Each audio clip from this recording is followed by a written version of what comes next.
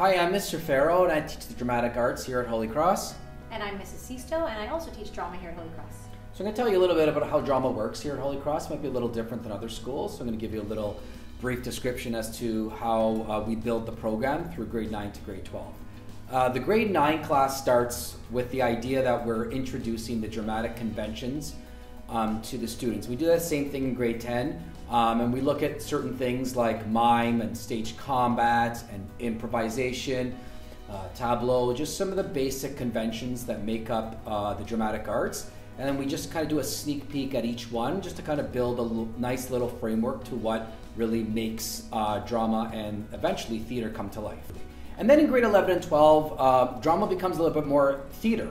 And so we start looking at um, the, the process involved with creating a play through the eyes of a director, through the eyes of an actor. And in grade 11 drama specifically, we dabble a little bit with film. Grade 12, our big year, we build to have the grade 12 students create the school play. And in that um, process, they are in charge of doing all aspects of the play the marketing, the ticket sales, the directing, any choreography that might be needed. So they really take into account all the aspects of theater. Mm-hmm. And they get to experience all of that in an actual professional uh, space, you know, where they get the uh, opportunity to see what backstage is like, you know, having the, the, change rooms and the lighting and sound booth, right? And it, it's really a whole experience. And during that time, I find that they really become like a family. Yeah. So that's a little bit about how uh, drama works here at Holy Cross. But the best way to really get a feel is to take drama and see if you love it, because we yes. know you will. Mm-hmm.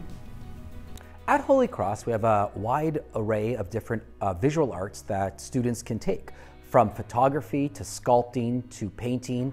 Um, we uh, take our visual arts very seriously here. We've had a very, very strong history of um, creating some beautiful works of art from all the different visual art strands. And our students, as you can see by the beautiful works of art around Holy Cross, have an incredible amount of talent that's fostered really beautifully by both Miss Stirpe and Mr. Swanik. We also have a great music program here at Holy Cross.